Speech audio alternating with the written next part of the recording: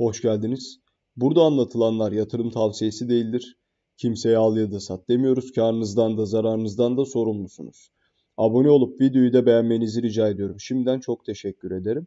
E, VeChain tarafı özellikle varlıklarını açıkladı arkadaşlar ve VeChain'in varlıkları tahmin edersiniz ki e, Vetcoin işte devamında Ethereum e, ve bununla birlikte tabii ki ne olarak çıktı? Stable coin'ler olarak çıktı.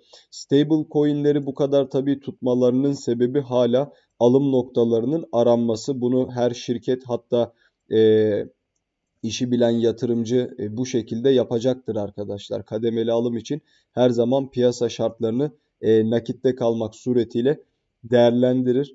Burada asıl dikkat çeken nokta Ethereum'un çok yüklü miktarda varlığı oldu. Tabi VET kendi coinleri VET ile alakalı ayrı videolar da var ve e, yükseliş beklediğim bir proje. Ethereum'un bu kadar ciddi noktada alınması aslında dikkat çekiyor.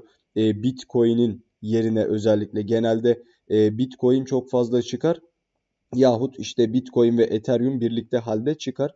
Ethereum'u bu kadar tercih etmelerindeki sebep zannediyorum ilerleyen vakitlerde de e, uzak gelecekte güçlü yükseliş beklentisi e, içerisinde olduklarını anlayabiliyoruz. Çünkü Ethereum bugün arkadaşlar e, LDO işte Matic vesaire gibi pek çok kripto parada da hype etkisini gösterirken 100.000 TPS'i hedeflemiş bir yapıya sahip ve gerçekten Bitcoin'in ötesine geçebilecek bir ağ yapısında bulunuyor.